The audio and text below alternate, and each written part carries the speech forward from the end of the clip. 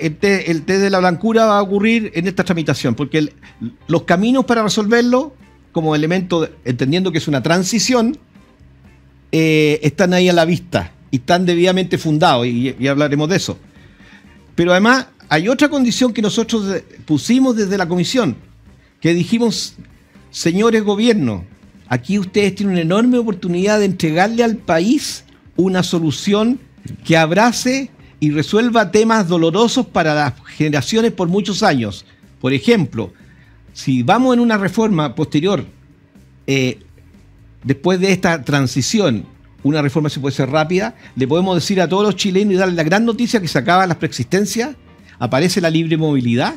e instalamos un sistema bajo el alero de la, so- de la seguridad social y la solidaridad en salud robusto. Oye, y- yo- yo creo- da- yo creo-